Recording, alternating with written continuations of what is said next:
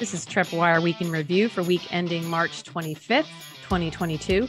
I'm Martha Kocher with Trepp, a data modeling and analytics firm for the CMBS commercial real estate and CLO markets. I'm with Manus Clancy, Senior Managing Director, and Lonnie Hendry, Head of and Advisory Services. This week, the U.S. will expand sanctions on Russia as the Russia Ukraine conflict is mired in a stalemate. And the Fed takes a hawkish tone in its fight against inflation. Oil prices peaked at more than 120 a barrel before sliding again, and in economic data, durable goods orders fell more than expected, and jobless claims were the lowest since 1969. Signs that a tight labor market may keep boosting wage inflation. Manus, the moves in the Treasury were a little up and down. What's behind some of that? Well, when you look at the moves in the Treasury market, we wrote about this this morning in TreppWire, or perhaps it was yesterday, that the reaction to Jerome Powell's remark, Fed Chair Powell's remarks, which were, you know, 50 basis point rate hikes were on the table. It was like we were living in two alternative universes. The bond markets took him at his word, and interest rates interest rates shot up this week uh, considerably. I think the 10 year got as high as 240 at one point. It's a little bit lower than that now, but um, you know, 80 basis points higher than it was two or three months ago. Um, the two year, I think, got as high as about 230, 225, 230. So the bond market was taking Powell's commentary very seriously. The equity markets, not so much. The equity markets almost shrugged this off as if to say, we dare you. We don't believe that you're going to do this. Be as hawkish as you're sounding. Or perhaps it's well, maybe we'll finally wrestle inflation to the ground and we'll get costs under control. But whatever it was, we saw a spectacular equity rally over, you know, like six of the last eight days, including today, which the NASDAQ was up another 2%. So usually at times like this, maybe because I'm a bond guy, I tend to believe the bond guys.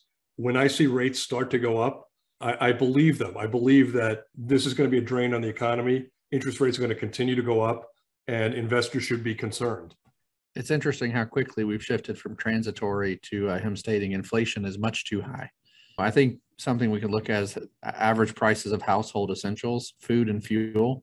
They've rose more than 16% in February uh, when compared to a year earlier and expected to continue to increase based on the war in Ukraine. So uh, we're seeing this in real time. I think some states have actually started to enact gas tax holidays is what they're calling them. Uh, Maryland and Georgia become the first states to uh, to temporarily suspend their gas taxes.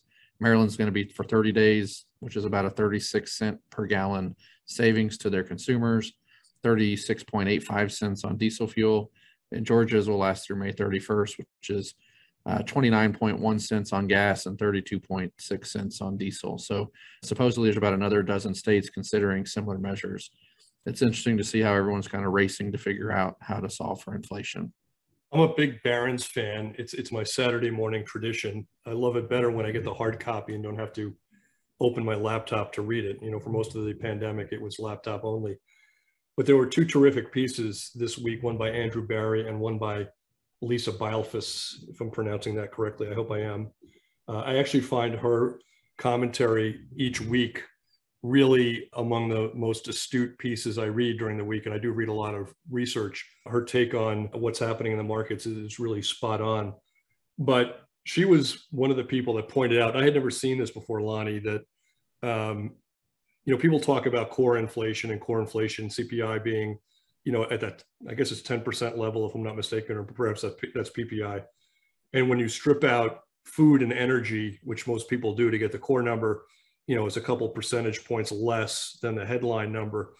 But she turned it around and, and she referred to the same number that you did, which is if you look at the, you know, the converse of the core, which is includes only essentials, only energy and food, that was up 16% in February.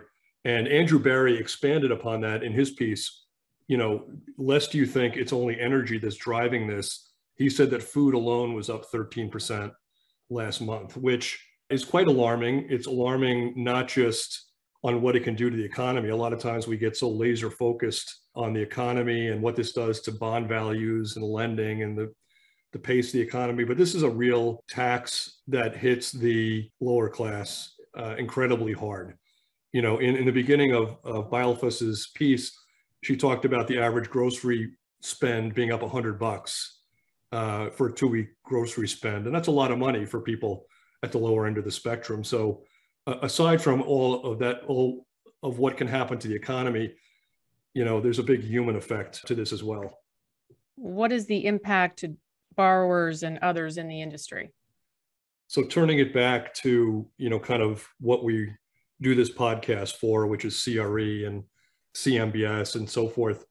Um, we spoke last week about how new issue lending was being done in the 440 range, 450 range, meaning borrowers could come to the CMBS market and they'd be quoted loans, you know, around four and a half percent now, up from about three and a half percent a couple months ago. So a sizable move. And the four and a half percent is just an average, right? Some property types will be lower, some property types will be higher, and so forth. But we said that number when we were about 25, 30 basis points lower in the treasury curve. Rates are up another 30 basis points since our last podcast, give or take. So now you have to think that what the desks are quoting for you know the big issuers that bring CMBS bonds to market, you're probably at 475. So borrowers who had become very used to saving money on refinance, for almost all of them now, that savings has been erased. There is no savings to be had. Two other thoughts about that, and then I'm going to turn it over to Lonnie for, for a cap rate discussion. But the second thing is in the past, people could trade down in term to take a shorter term loan to save on the interest rate, right? So if the 10 year was at four, maybe the five year was at three, and they could save 100 basis points and do that. But because the yield curve is so flat right now, the five year is really right on top of the 10 year. There's not a lot of interest rate savings going from 10 to five. And if you roll the dice and if you tap the CRE CLO market and say, I'll do the floating rate thing and I'll lock in an index today for the next, you know, couple of months, month or two at 25 basis points, which is where SOFR is. I'll roll the dice.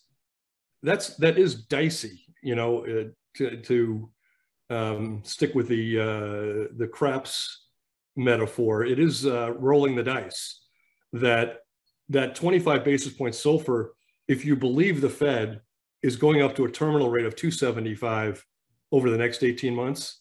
And then whatever you're paying, if you're paying a, a two and a half point spread on your floating rate loan, your coupon goes from two and a half to perhaps five and a half over time. So there's not a lot of ways to game the system now to keep your interest rate low.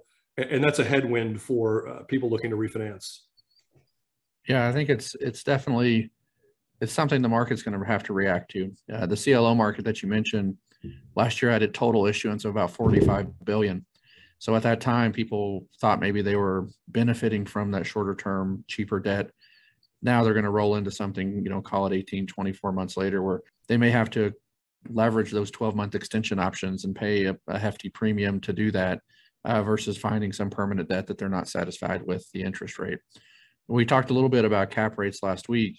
You know, we're starting to see stuff pop up in the in the feeds where you know, property owners are buying assets at two and a half uh, cap rate going in and financing at four and a half. That's not the equation that they want.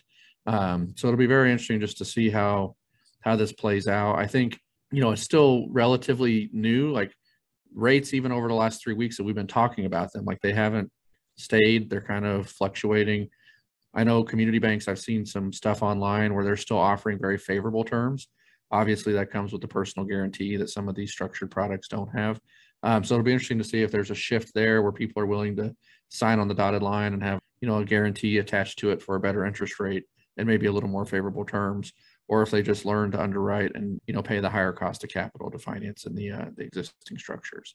So Lonnie, let, let's stick with the cap rate thing for a minute. You know, historically, cap rates and interest rates fairly well correlated, not perfectly rates come down, cap rates come down.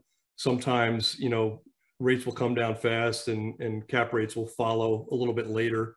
Uh, same thing on the way up, right? Cap rates could react a little bit slower. Uh, there seems to be some debate this time about can rates go up significantly without impacting cap rates, which have been just extraordinarily low, especially in things like multifamily. Yeah. So, you know, we looked for some research. We actually found a couple of reports that went back over a time series. And to your point, they pretty much have, you know, as interest rates went up, cap rates went up. As interest rates came down, cap rates came down historically. I think what we're going to see right now is almost a short term bubble where you have so much liquidity, such short supply of assets available for purchase. Interest rates may continue to go up and cap rates may continue to go down. So, placement of dry powder on the sidelines is going to overrun fundamentals in the short term.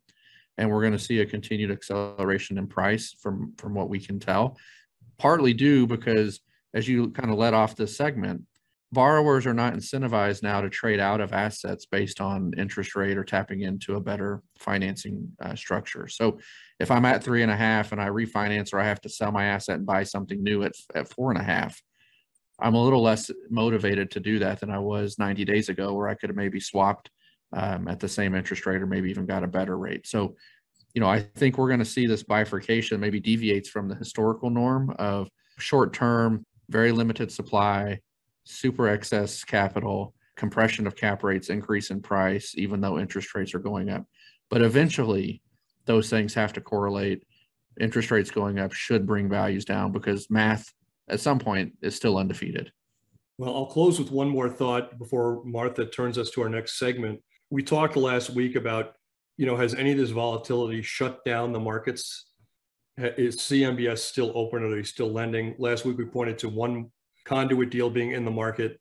This past week, we got two more deals in. I'm not sure if any of them priced today. Uh, I wasn't kind of looking at my screen all day long, but as of this morning, we had three deals waiting to launch from three different major issuers slash investment or commercial banks. And that's a positive sign. It means that uh, several different banks are out there keeping their windows open, making loans, certainly at higher spreads and at higher rates, but it is a sign of the market functioning, which is a good thing. Breaking into the property sector news, let's start with hotel news. We had a couple stories that we wanted to go over. Let's uh, let's start with the Chicago story. Yes, we've been following New York and Chicago quite a bit. Those are two of the four or five worst performers when it comes to hotels. Whereas much of the country has recovered, we've seen occupancy tick up, we've seen RevPAR tick up, we've seen a lot of these defaulted loans cure. Our listeners will remember that we've gone from about a 25% delinquency rate to less than half of that in the hotel segment. But New York, Chicago, and a couple of other cities still struggle. Last week, it was the Sheraton in New York that sold for, I think, a 52% discount to where it sold in 2007. You know, this week we got a kind of a lousy Chicago hotel comp. Sunstone sold two hotels for 130 million. That's down from a combined value of about 206 million at one point. So not quite as bad as the Sheraton one, but still down 35%, 40%, something like that. The two properties are uh, the Embassy Suites Chicago and the Hilton Garden Inn hotels. They total 729 keys, sold for 178K per room. The story comes via the real deal. You know, I, I think Chicago and New York, the combination of still kind of muted overseas demand, right? Travel from Europe and Asia, lack of people coming back to the office and staying we're making business trips to New York and Chicago, along with just kind of a lackluster rebound in their economy thus far. I think they have a lot of work to go. I think this is our third or fourth story on the uh, Magnificent Mile in the last month or so. And I wonder if we have to start referencing that in some other type of Prince esque, formerly known as the Magnificent Mile, because the uh, the mall property, the uh, the hotel properties, these numbers don't bode well for them. I think you know, they also suffer from really cold winters, and you combine all those things together. Hotel travel just hasn't been what it should be. Hopefully, this spring will bring some some new life into Chicago, and the city will start to rebound a little bit. A couple of others. One is a little tongue in cheek, and one is uh, kind of interesting. The one that's caught our eye earlier this week: the value of Uh, the Aruba Marriott Resort was cut sharply. This is a 411 key full service hotel. It backs both a senior loan and a B note that total 190 million.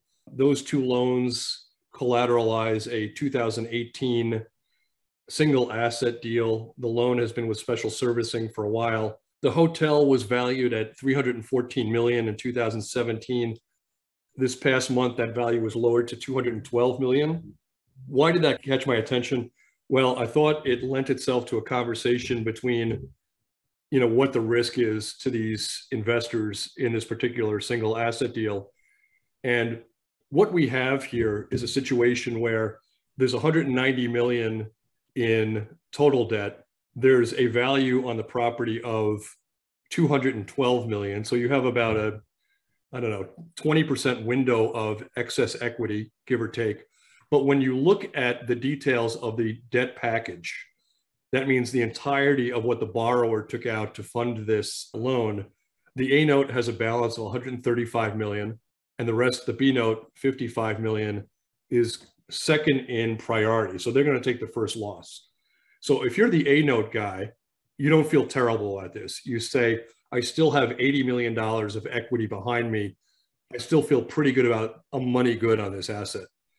But if you're the B note holder, this cut in value has reduced your equity from about 150 million to about 20 million. So here, in this particular case, you're a little bit nervous as the B piece guy is. I hope this 211 or 212 is not headed to 180 or 170. And my equity in this whole is negative. So for people that trade CMBS and people that know CMBS, this is kind of second nature. But for people that are tourists in the CMBS market, a lot of these structured deals are complicated. There's multiple levels of subordination and knowing the details matters when you're looking at whether something like this is newsworthy for your investment or not.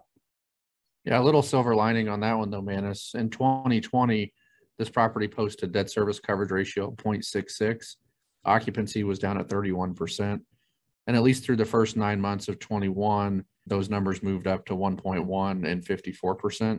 Um, so it'll be interesting to see as we head into, you know, the second quarter of 22, if they're able to continue to bring it back. And hopefully this 211 will be a low water mark and the property will stabilize and come back you know, in some form or fashion closer to that origination valuation.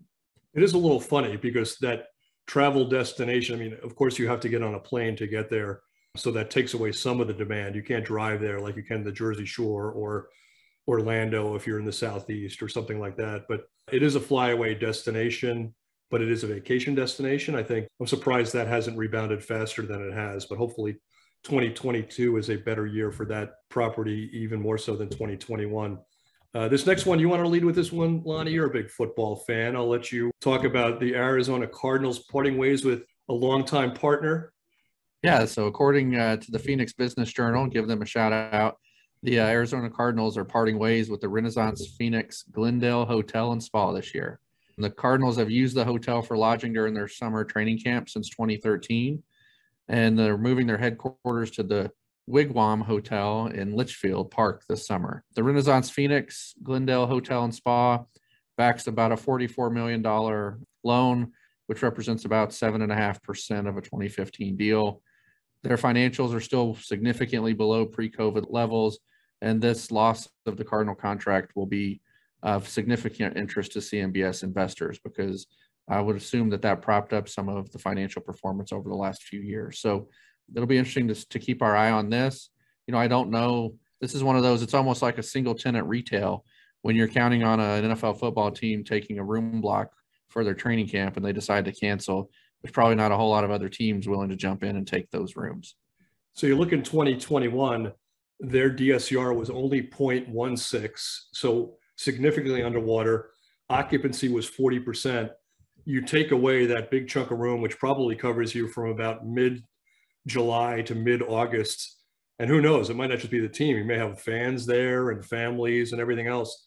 That's a that's a big gut punch. And as you mentioned, Lonnie, this particular asset represents almost seven and a half percent of a 2015 deal. So this is, you know, kind of really disappointing micro news. Probably not as disappointing for Cardinal fans as perhaps if they were to lose Kyler Murray as their quarterback, which is rumored by some that they're not going to extend his contract, but not extending the contract at the Renaissance Phoenix, not a, not a good turn for CMBS investors. So while we're on the subject of sports, I got to ask you, how are you doing on your brackets? Well, Lonnie, so, I mean, I got to let Lonnie start. He's got he's got a, a stake. Got a game sweet, tonight. He's got a stake in the Sweet 16. Yeah, so I'm actually uh, I'm I'm reporting this podcast, as you guys know, in uh, in sunny Lubbock, Texas today, and so I teach class tonight from uh, from five to eight central, and I think uh, Texas Tech game starts at eight o'clock. So it'll be one of those nights where uh, they they certainly don't want to wait until uh, class ends at eight. They're going to be pressuring me to get out of there a little bit early. So, you know, looking forward to seeing what Texas Tech can do. They're playing Coach K and the Duke Blue Devils, so that's that's got all kinds of you know additional commentary and undertones with that. It could be his last game. And then uh, my Rock Chalk Jayhawks are still looking pretty good too. So that's all I know about the bracket. I've been working so much I haven't really paid attention to see how my bracket is. Either that or I threw it in the trash because it's toast. I know we do have some Dukies out there, so uh, you know I think uh, you're on the other side of that uh, that game tonight from a lot of our listeners. And how are you doing? I'm doing okay. I did lose on Auburn. I was actually at that game, Auburn and Miami, and Auburn looked uh, flat as could be. But I still got my Gonzaga, Houston, and Purdue picks. So you got you got uh, hope. We got I'm hope. Actually, I'm actually rooting for St. Peter's, so let's uh, let's hope the Jersey City guys are able to to win against Purdue. That'll be a tough one. Here, quick question for you, man. Is that the uh, the Auburn coach, uh, Bruce Pearl?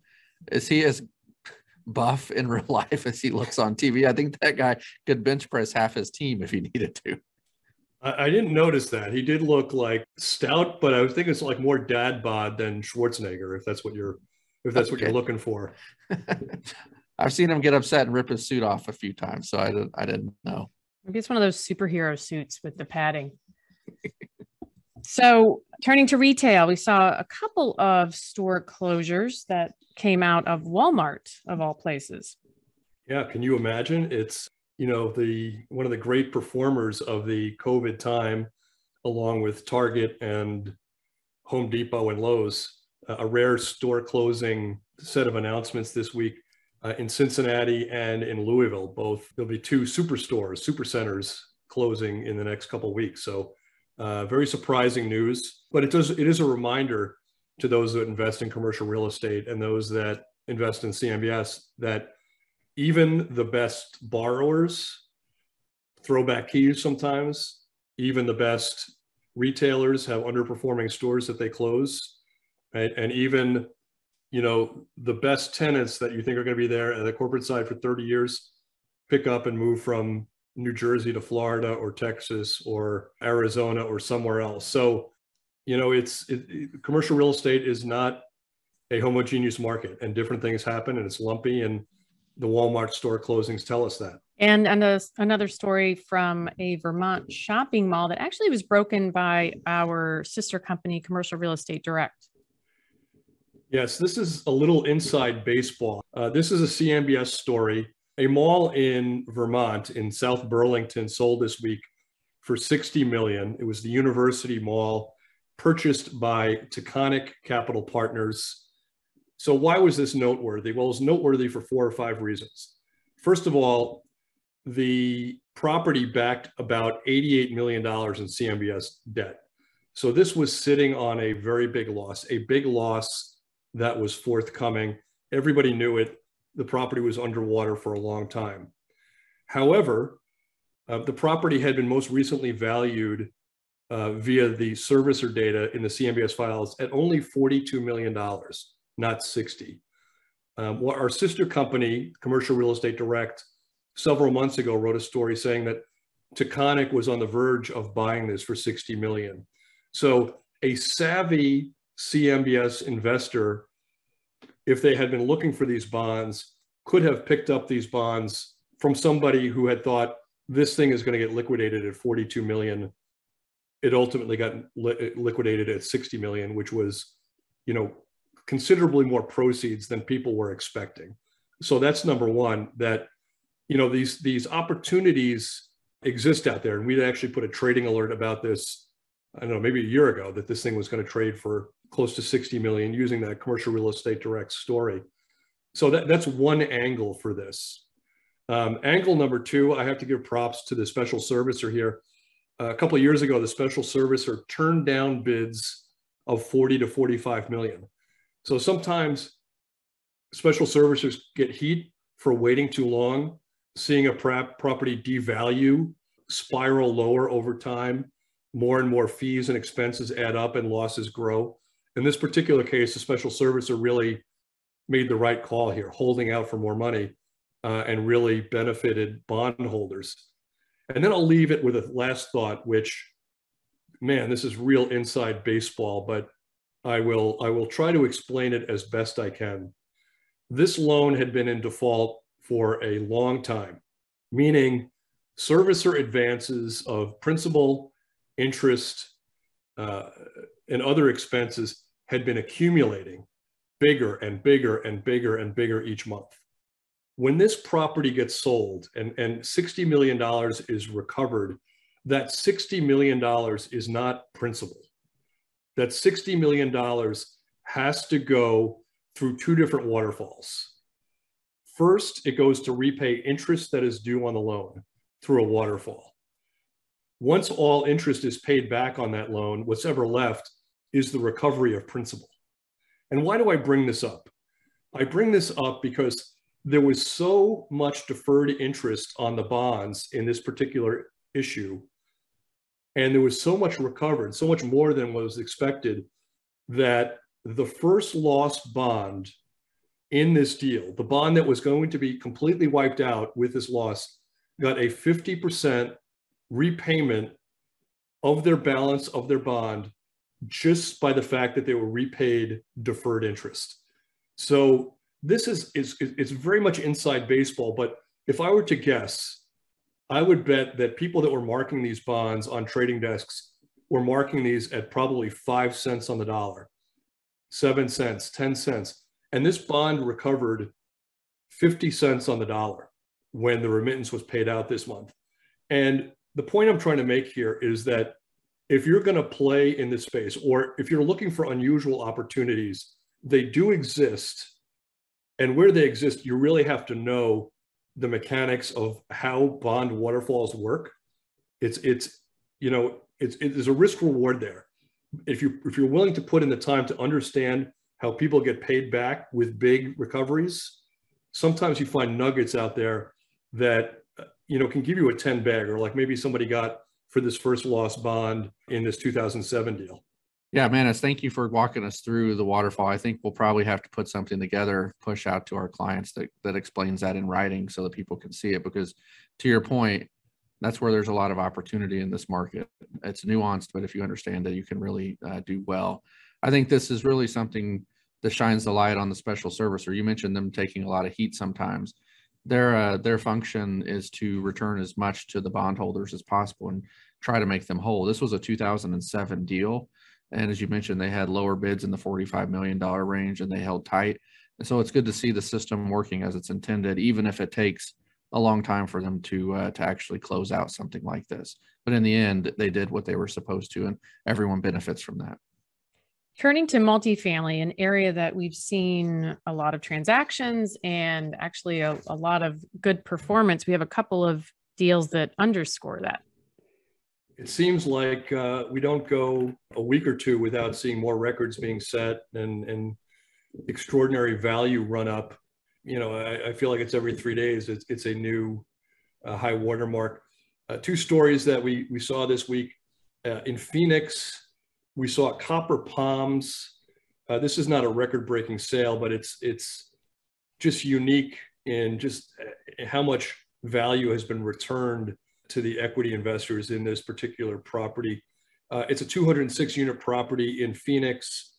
Uh, Tides Equity came in and bought it at a value that is 4x what this thing was worth in 2015. So it was worth 14 million in 2015 sold for 59 million. By the way, Tides Equity just really owns everything in Phoenix. This is their 59th purchase in that MSA. This particular deal, it's unusual also in that the property backed a 2015 private label deal. Normally this stuff finds its way into Fannie and Freddie debt, but there should be a defeasance coming uh, for that particular property. Uh, similar story in Atlanta, the Carlyle of Sandy Springs. Uh, here it's a 389 unit multifamily property sold for triple what it was worth in 2014. So 34 million in 2014 sold for 105.6 million. So just, you know, um, at some point the the merry-go-round or whatever we want to call it has to stop and and and values have to keep, you know, uh, doubling every four or five years. Uh, but for right now, it's it's just been an extraordinary run. This is a, a perfect example of 1031 proceeds from these deals having to find a new home over the next few months. So I, you know, the, the excess gains on these are going to be redistributed into other investments and, you know, probably other markets. And that's where we're going to continue to see those rapid price increases in secondary and tertiary markets across the U.S. So let me give a couple of shout outs here because I didn't do it when I talked about these.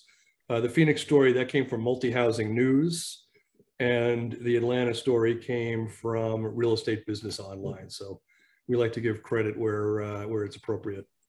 Turning to office, we have seen in the last couple of weeks, Kastle Systems reported that occupancy at the 10 largest office markets is up 40%. And interestingly, in New York went from 33% to 36 and unfortunately San Francisco is still at the bottom at uh, only 29%.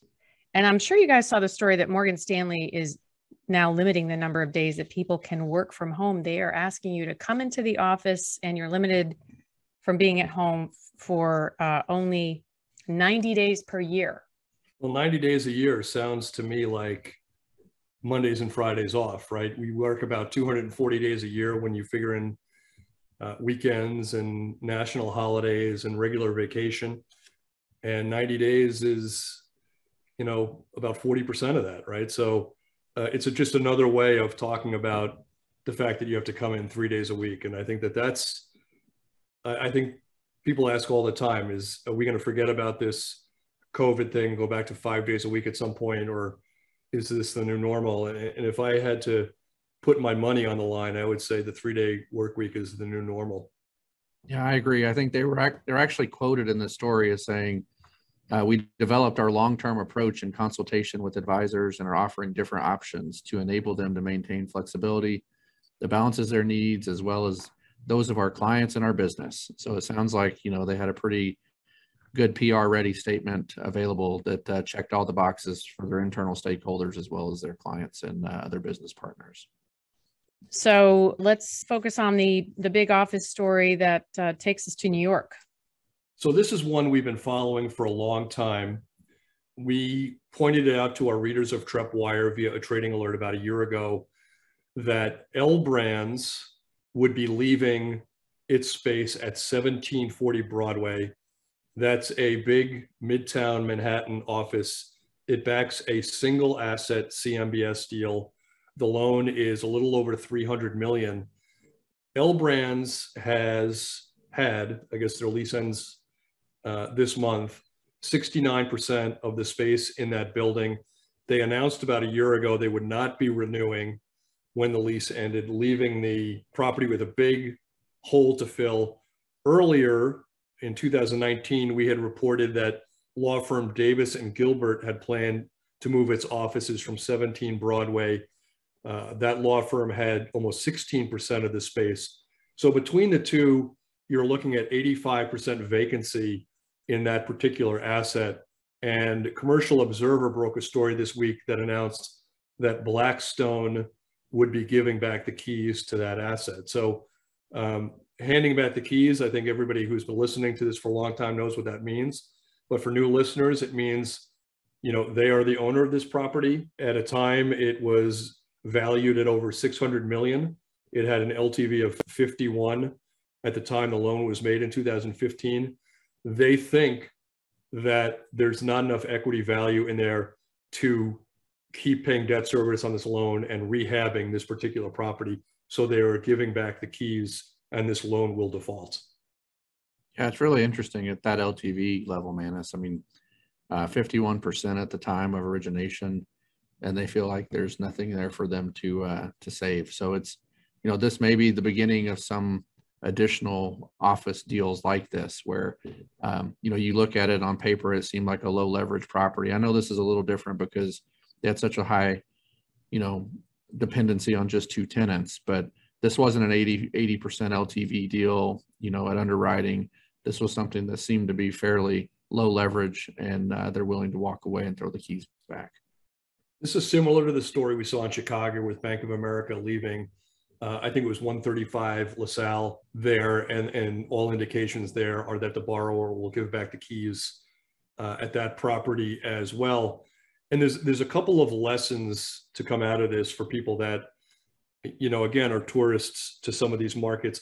The first is that, you know, the time to realize that a bond may have issues isn't when a, somebody's lease ends. It usually happens six months to a year when the news starts to come out that this firm has moved on or this firm has taken a lease somewhere else. So normally these events take place. If you, you know, if you're somebody who's new to a trading desk or think you want to become a, you know, you're a student, you want to become a trader, this is what traders do, right? Their job is to know that L Brands was planning to leave or had signed a new lease 12 months ago and that this could have happened, right? And to price this risk uh, accordingly. Same thing with the Bank of America news um, in Chicago.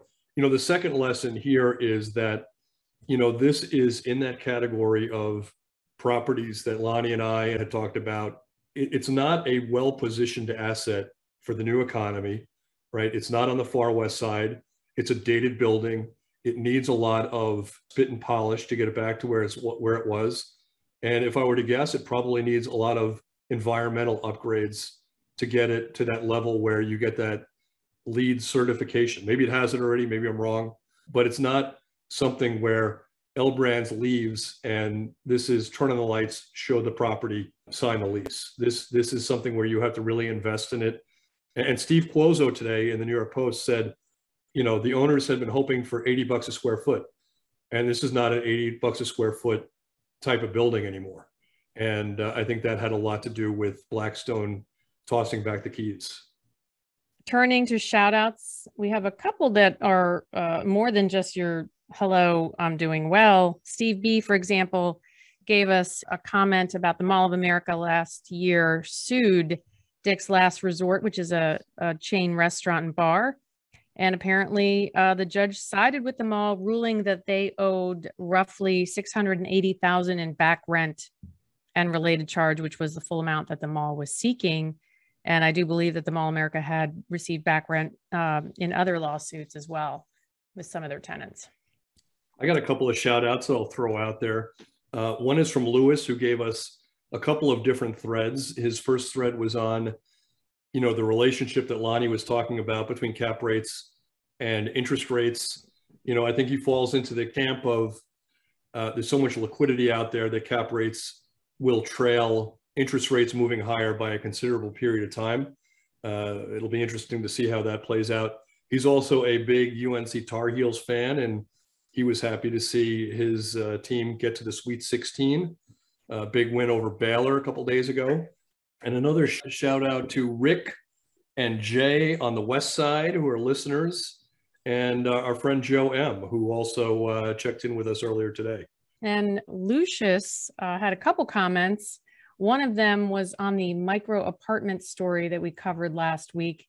And uh, so he had a question. He said, anyone who's willing to live and work from a 500 square foot box belongs in a straitjacket, which will probably help the office market bounce back a little bit. And a shout out to Cherry and our team who were at the CRE Tech conference in San Diego. Cherry had Will Froling and Mike Benz at their booth to show our CRE income and expense aggregate data. So thanks. Deborah Morgan, who we've talked about a few times, recommended our podcast in response to Fort Worth Chris, asking the best to listen to. And a couple other notes. We have our Future CRE Leaders Awards program actually accepts award nominations for kids who are super bright, graduating from undergraduate studies in real estate or finance. And I got to tell you guys, the last class was so impressive, made me feel like a slacker. You know, I'll, I'll give you something else that, you know, maybe will not make you feel a like a slacker. You know, I'm supposed to go to Orlando next week. And the funny thing about, I haven't been there a long time. I haven't been there in about 15 years. And the funny thing about Orlando is you don't even get to the third syllable if you're talking to your kids before everybody thinks you're taking the whole family on vacation. And, you know, you start seeing the phone light up, you know, one daughter texting the other, I think we're going to Orlando. And then you have to break it to them that, you know, it's not a family vacation. This is a business trip. I'm going down there. I'm speaking to some people. And then they come back to me with, you're not going to talk about, you know, buildings and interest rates and hashtags and pound signs. So I take a pause and I go, hashtags and pound signs. You mean numbers? Numbers? I said, those are numbers that you're talking about. So, you know, some of these uh, young kids, you're right, they're incredibly bright. They make you feel like slackers. And others just kind of put you in your place, like my kids. Well, I was exactly. going to take a take a chance here, Martha, and throw a shout out to the uh, the Texas Tech students. I uh, came in early to uh, Lubbock today and did a a full day seminar on our Trepp loan product with about 40 students, uh, undergraduate here at, at, Texas Tech. And I'll tell you, the uh, you know these folks have some really talented um, technical skills, capabilities. I, I gave them a quiz at the end, and um, you know after just a few hours, they were able to do some fairly complex work in our platform. So it's really uh, it's exciting to see um, you know this new new tech age version of uh, of college and what that what that means for our you know CRE businesses. I tease them sometimes via the podcast, but yeah, there's a lot of impressive young kids out there, and it can be quite humbling. And you know, guys, today literally marks the two year anniversary of our podcast. So for those of you who have not been on the long ride with us, we started the podcast in response to the COVID induced recession and how it was impacting a number of our clients and influencers in the market. And it's been an interesting ride these last two years and we've we've pivoted from worrying about employment and uh, pandemic numbers while we're not out of the woods yet to uh, to inflation and war and some other things. There's been so much to dislike about the last 24 months you know the human effect of covid the inflationary effect on you know lower income people, the war, uh, as you mentioned, Martha. All those things are such negatives. For me, one of the great positives the last two years is I've probably doubled my friend group in the industry from pre-COVID, just from people pinging us in emails or making phone calls, and and the debate is just always so positive and healthy. I always end up learning something from it. Uh, I've had golf rounds out of it and coffees with people and drinks and so forth. And you know, I guess every cloud has a silver lining. And for me, that's what the last two years silver lining has been. I would agree. With that, we'll close. Thanks to our producer, Haley Keene. Join us next week as we look at what's happened during the week and how may be impacting you. If you have a question or comment, send an email to podcast at trepp.com and subscribe to the podcast with your favorite provider. Thank you as always for listening and stay well. All right.